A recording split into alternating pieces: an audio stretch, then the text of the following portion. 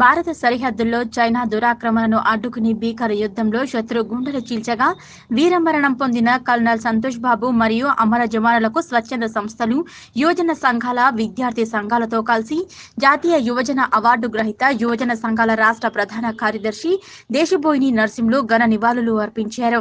ఈ కార్యక్రమంలో AMC director Seelasaram Praveen Annavilli Mallikarjun Gudala Shekhar Guntipalli Kumar Rachakonda Prashanth Devulapalli Manohar Shiva Kumar Nagaraju Shekhar Abjul తదితరులు పాల్గొని ఘనంగా నివాళులు అర్పించారు. వికృత ప్రయోగాలతో వికృత భోజనాలతో ప్రపంచ మానవాళికి ఎంతో పను పెను ప్రమాదాన్ని సృష్టించినటువంటి చైనా ఏదైతే ఉన్నదో ఈరోజు ప్రపంచ దేశాలన్నీ కూడా విరోధిగా ఉంది.